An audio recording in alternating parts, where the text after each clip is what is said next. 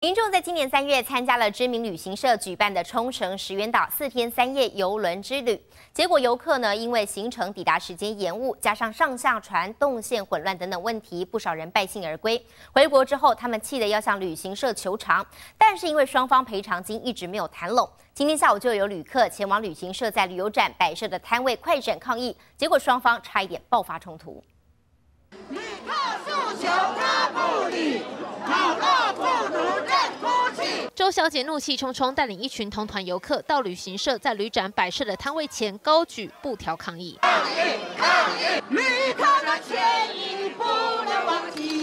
条写下保护旅游消费者运动，希望旅行社别再漠视游客的不满心声。结果旅行社却疑似派人出面阻挡，双方差点爆发冲突。绝对是离国的，你敢抢我，你就完蛋了。这起旅游纠纷发生在今年三月，当时周小姐和先生参加知名旅行社举办的冲绳石垣岛四天三夜的游轮自由行行程，结果周小姐不满旅行社，先是行程时间不断延误，接着抵达目的地要下船时，又因为下船动线乱，加上船上的旅行社服务人员又疑似不足，让游客气炸了。回国后，愤而向旅行社求偿，但双方对于赔偿方案却始终没有共识。如果你拿不出三分之一来。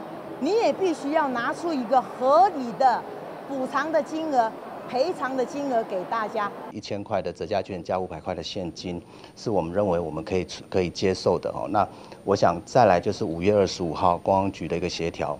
对于赔偿金额要达到共识，似乎有难度。游客表示未来会持续抗议，直到达成协商共识才会罢休。而旅行社则期盼透过二十五号的协商，能让这起旅游纠纷和平落幕。